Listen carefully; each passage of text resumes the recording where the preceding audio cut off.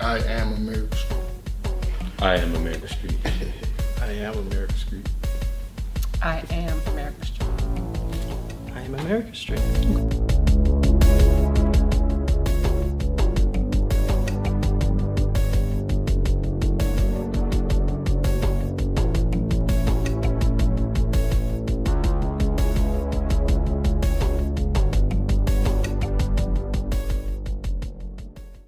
This movie is going to be so beautiful. A to me, it's a love story. Mm-hmm. From my my perspective, it's a love story. It's about a man who's coming out of prison, and he's falling in love with someone that he never thought he probably would have a chance at.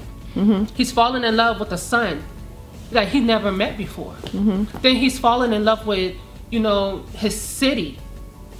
And it's changed so much since he's been away. So it's like a, to me, my perspective is it's a love story. Mm-hmm. It's a love story, and he's gonna. I think that everyone here is gonna be pleasantly surprised. Okay.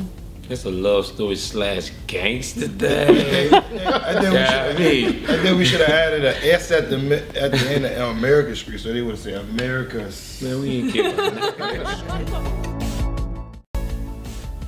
It's uh, it's not about the the, the locate the the street America Street. It's more symbolic um, because uh, I wanted to I wanted to Charleston to be another character in the film, like a, a Woody with New York with Woody Allen, or you know New York with uh, Sp- uh, Spike Lee, or Brooklyn with Spike Lee. So I wanted to just to be another character in the film.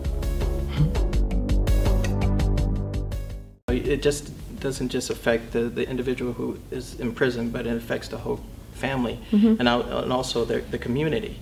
Um, and that's the reason why I wanted to show his relationship with his brother, his relationship with his mom, his relationship with his, uh, their relationship with the estranged father, and his new relationship with his new son. Um, so, I- and understand, you know, in in Africa, there's a word called Ubuntu. You know, I am because we are, and and we've lost that sense of community. And I wanted to show that um, one individual can affect the whole, um, and hopefully that um, you know I, I was able to illustrate that visually in the film. Travis. because he wanted us to deliver. We would deliver, but he would get so nervous about like, is it? Are you comfortable? Are you this? Or, so he was trying to make sure that we were good. And we were good. We were just trying to make him comfortable. Anything- we were trying to make him comfortable with, you know, okay, we, we got you. We got you. We're gonna whatever you need, we're we're, we're gonna deliver. I'm playing a totally different character than really who I'm. Not too far away from what I am because I have been incarcerated. You mm-hmm. know what I'm saying? So I, I understand the other spectrum of being one of the incarcerated black males and knowing how the system works against you and how hard it is when you come back in society and try to maintain and survive and to take care of your family, whatever you have to do, all the distractions in the street. It's, it's real hard and nobody really, it's like you don't get a class for that when you come home. And Nobody, they say you're supposed to get rehabilitated when you in prison to be able to adapt to society, but that's not true. It's like you out here, you on your own. You know, so it's easy to fall back into what put you in prison from the start, because being the fact that you've been in prison and you're trying to go get a job, something that can really take care of your family, you're not going to get a shot because all they look at is your past. They don't know your personality. All they're looking at is what you have on paper. Have you been incarcerated? Yes. And that the major strike against you to get overlooked for anything. You might have mm-hmm. experience in doing something, but your past, they can't look beyond that. And we trying to show people, you know, that from my background, from where I came from, Travis gave me a chance to show people I can do other things than what I came from. I'm not the same person I was in the past. I have evolved, rehabilitated myself, and showing the world, and any kid that's coming up the same way that I did, he did it, I can do it too. Just a ray of hope. Well, you know, my character in the movie is parallel, parallel with my um, music. You know what I'm saying? It runs current. Cause, You know what I'm saying? I'm at Mega Bucks Nick. You know what I'm saying? He did some not street wise moves in the movie. So you know what I'm saying? I'm keeping it street, street, Mega Street. But um, no, um, I mean, it, gonna um probably impact the music. You know what I'm saying? Um, now that my music doing well, you know what I'm saying, Maga Man character, you know what I'm saying, uh, how you probably would act in a normal life, you know what I'm saying, as far as addressing certain issues in the movie. Is acting in your future? yeah, after November the 12th it will be.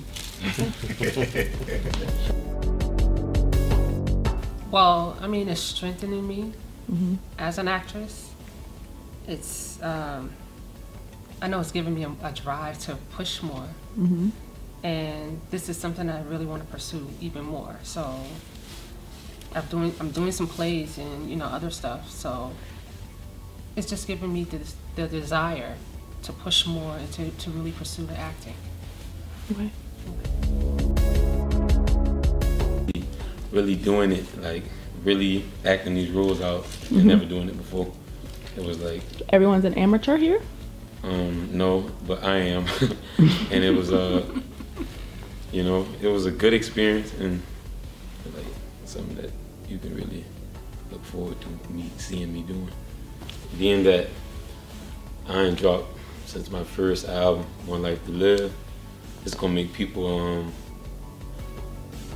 want to go get my next two albums that's about to drop. and um, you know, I did a couple scenes in the studio in this movie. You know, those show them that you know got a little full, little swag, little something. Okay. And um, it's gonna open up another a, a big eye. You know, people who really you know doubted me and really thought that oh he you know would be doing something like this oh because there's a lot of them. But um, you know, just Part two? two and a, and a whole lot. Part two and a whole lot to do.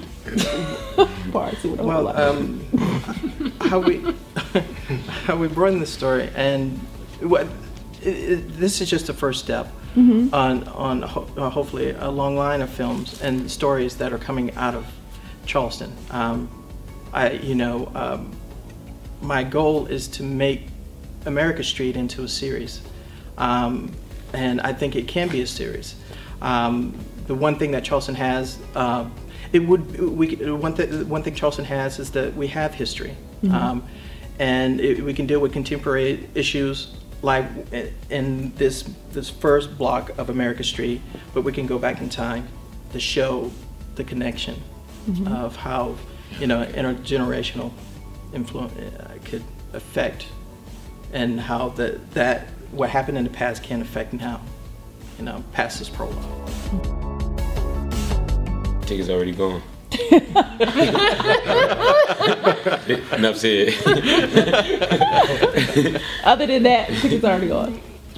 well uh, he, he, but it's almost gone. If you a Mugger Man hater, please come out and watch the movie because if you want to see a, a, an array of talent locally grown um, definitely come to see the film. It's entertaining. Hopefully it'll be uh, the start of something even much greater in the future um, and hopefully you won't be di- disappointed once you see it five Charleston millionaires pulling out the limousine. I You receive know it. what I'm saying? Okay. But it's Sold out seats, you know what I'm saying? Autographs, pictures taken, you know what I'm saying? Syllabus magazine, you know what I'm saying? No, I'll, s- I, I- I'll answer that one. I, you know, I think um, they're gonna be pleasantly surprised with what they what they seen because it's a movement, really. for you know for the city, nothing has been you know done like this. So you're witnessing history. That's what you're gonna witness at the premiere. You're gonna witness history, you know, for young black filmmakers, actors, um, entertainers. You know, what I'm saying just they're gonna witness history. Showing in Charleston, South Carolina. we got to stress that it's gonna be in Charleston, South Carolina. Okay. It's, it's, it's gonna travel. From what know, I hear, it's gonna be all over the it's world. Starting from Charleston, South Carolina. Don't worry, nobody's wearing skinny jeans in the movie. So we got you. Well, that's good to hear, I guess. Anything else, you guys? I think that, you know, it's going to be something that Charleston is going to be proud of. I really believe that we're going to make Charleston very proud. Charleston has some really talented people here. And if people just like start coming together and realize that there's enough for all of us. There is no reason for all of this like tearing down and all this other crazy stuff. It's enough for all of us, and if we come together, we can make a bigger sound. And shout out to Syllabus Magazine. You- Yeah. She on the ones and twos. Thank Yeah. yeah Syllabus Magazine, the real magazine. Oh, see. Shout out to Celebrate. Stamp, stamp and approve. I stamp and approve that. Thank Yeah, you. street. definitely would like to thank uh, and thank you, thank for the opportunity to be in uh, Syllabus Magazine. Um, thank you. Thank and thank you. and thank Travis Pearson for believing in us. Yeah. publish Yes. our- Yeah, that's you the know main saying? thing. Thank you, Because there's a lot of people out there who didn't want Martin in the, fi- in the movie because you know what I'm saying. There's a lot of people that don't want to Stop see talking about your haters. You can't be focused on your haters so much. You talk about them a little bit too I'm much. gonna say something Travis always says. He'll he'll say, you know, one of the actors he is the truth. So Travis is the truth. Yeah. Oh, That is. I believe business. that. He is the truth. Yes. Yes. Remember that. Quote. Remember that. yes. Thank y'all. Millionaire. Yes. Thank y'all so much. I am America Street.